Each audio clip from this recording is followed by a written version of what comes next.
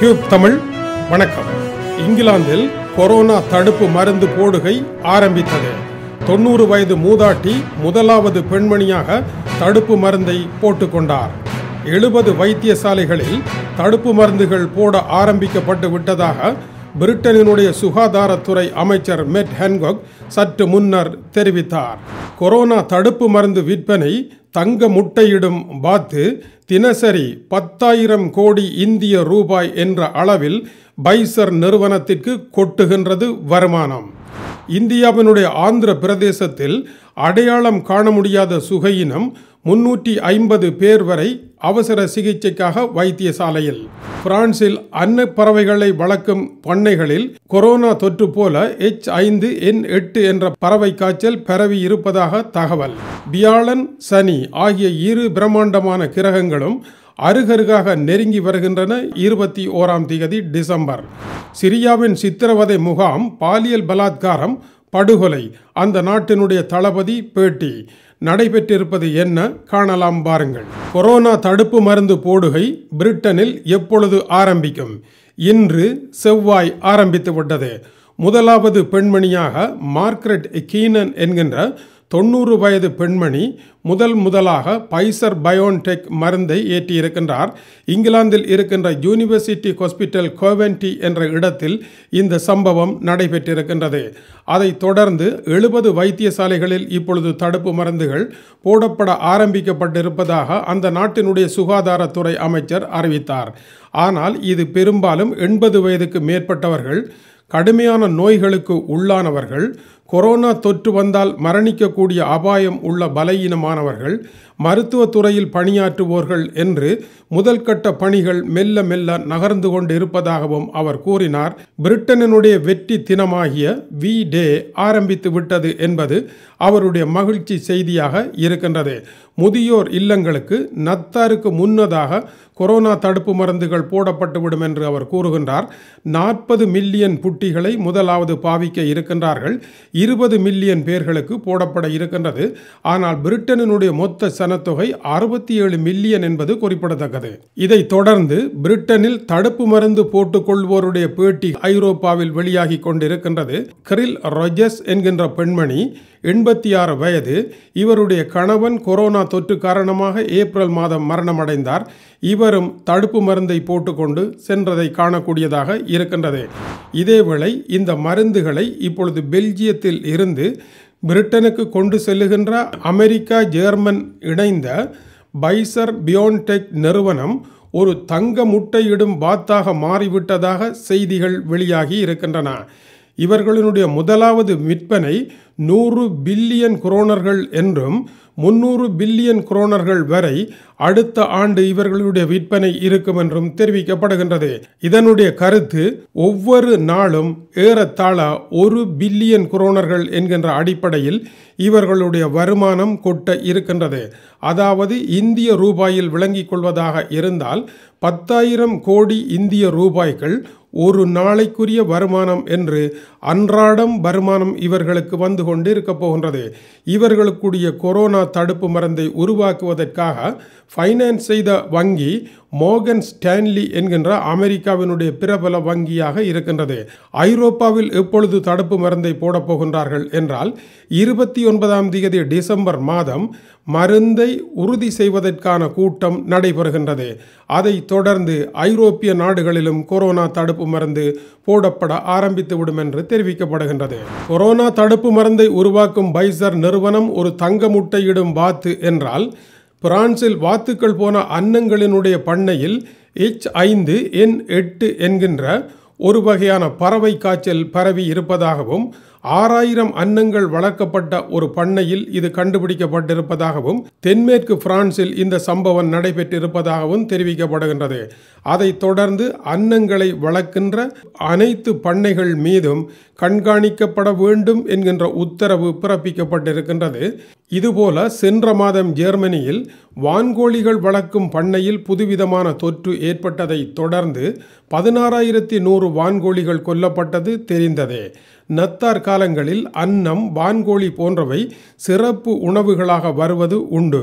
எனவேதான் இந்த பண்ணைகளில் ஏற்பட்டிருக்கின்ற தொற்று ஆனது நத்தார் கால வர்த்தகத்தில் விழுந்திருக்கும் ஓர் அடி போலவும் அமைந்திருக்கின்றது. இந்தியாவினுடைய ஆந்திர பிரதேசத்தில் இனம் புரியாத நோயொன்றுக்கு உள்ளாகி சுமார் முன்னூற்றி ஐம்பது வரையான மக்கள் வைத்தியசாலையில் அனுமதிக்கப்பட்டதாக இந்தியன் எக்ஸ்பிரஸ் எழுதியிருக்கின்றது.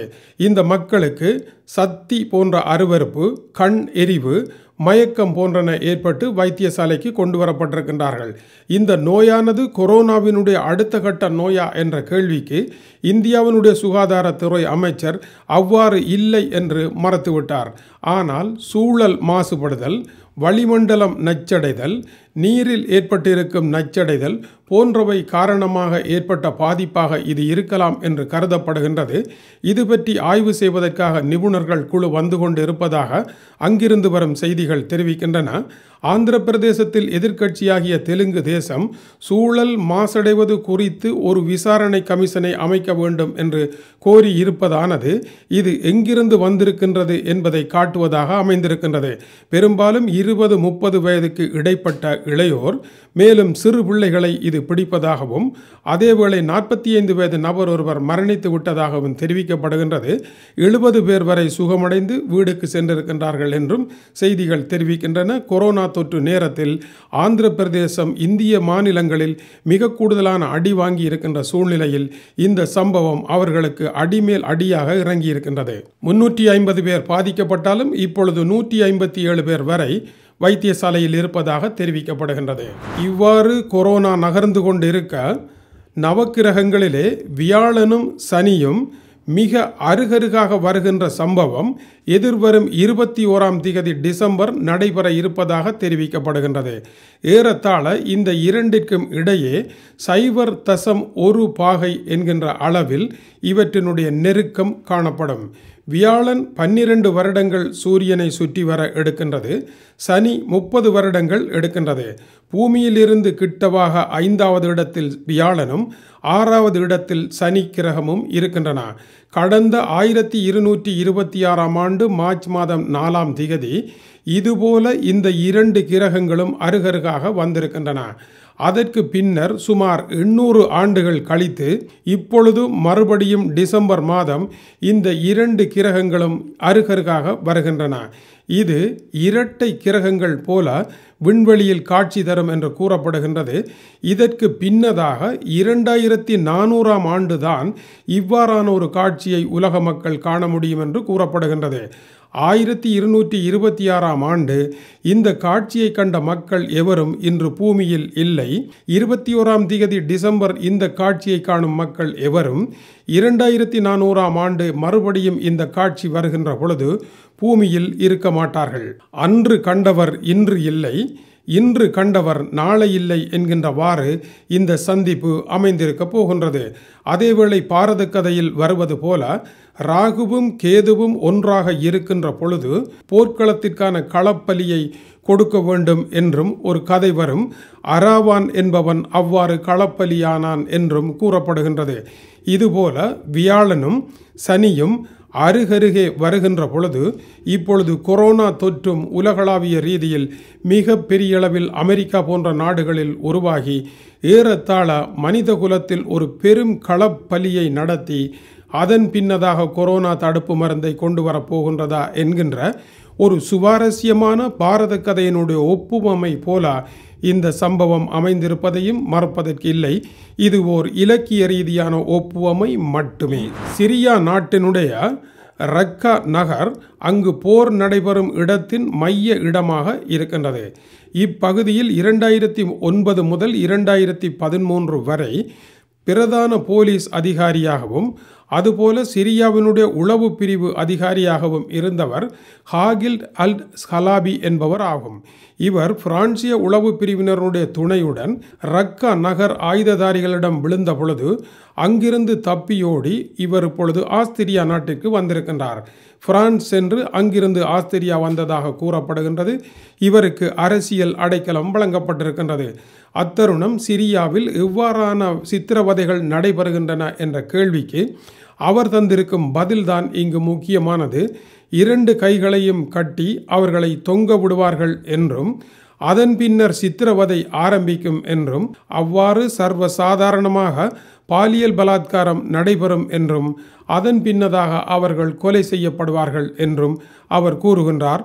உலகத்தின் மிக மோசமான சித்திரவதை முகாமாக சிரிய அதிபர் பசார் அல் ஆசாட்டினுடைய சித்திரவதை முகாம் இருக்கின்றது என்று காகில் அல் ஹலாபியினுடைய பேட்டி வெளியாகி இருக்கின்றது. இதுபோல மத்திய கிழக்கில் பல நாடுகளில் மோசமான சித்திரவதைகள் சிறை கொட்டடிகளில் நடைபெற்று கொண்டு இருப்பது குறிப்பிடத்தக்கது. அண்டவெளிக்கு நாற்பத்தி இரண்டாயிரம் சட்லைட்டுகளை அனுப்ப இருக்கின்றார் அலன் மோஸ்க் என்று சொல்லப்படுகின்ற டெஸ்லா நிறுவனத்தினுடைய அதிபர்.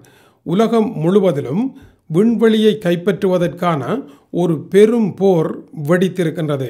சந்திரன் செவ்வாய் இந்த இரண்டையும் கைப்பற்றுவதற்காக உலக நாடுகள் ஆரம்பித்திருக்கும் பெரும் போர்கள் குறித்த சிறப்பான ஆக்கம் அடுத்து வருகின்றது. காண தயாராகுங்கள். இது டியூப் தமிழ் காணொளிக்காக டென்மார்க்கில் இருந்து கீசே துறை வணக்கம் உறவுகளே.